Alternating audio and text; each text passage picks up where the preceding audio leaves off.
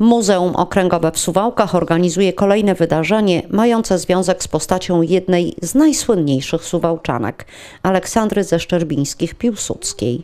Polski Parlament oraz radni Rady Miejskiej Suwałk chcąc upamiętnić 60. rocznicę śmierci działaczki niepodległościowej i członkini Polskiej Organizacji Wojskowej oraz Polskiej Partii Socjalistycznej, odznaczonej między innymi Krzyżem Srebrnym Orderu Virtuti Militari, ustanowili rok 2023 rokiem Aleksandry Piłsudskiej.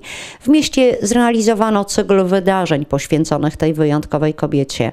Teraz lokalne muzeum wyszło z ciekawą ofertą dla uczniów starszych klas podstawówek. Postanowiliśmy zaprosić młodzież, młodzież e, starszych e, klas szkół podstawowych z Suwałki z regionu do udziału w quizie, który będzie w sposób e, zabawowy opowiadał, przypominał postać Aleksandry Piłsudskiej.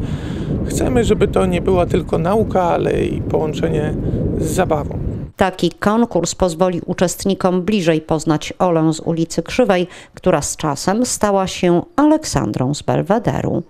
Na zgłoszenia czeka kadra Suwalskiego Muzeum. Składać je można do 30 października. Quiz odbędzie się 8 listopada e, tego roku. Nie ma się czego bać. E, na zwycięzców czekają nagrody. E, I myślę, że będzie to dobra forma i uczczenia roku Aleksandry Piłsudskiej i przypomnienia tej postaci dla mieszkańców Suwałk. Przedsięwzięcie wsparło dofinansowaniem Warszawskie Muzeum Historii Polski w ramach programu Patriotyzm Jutra.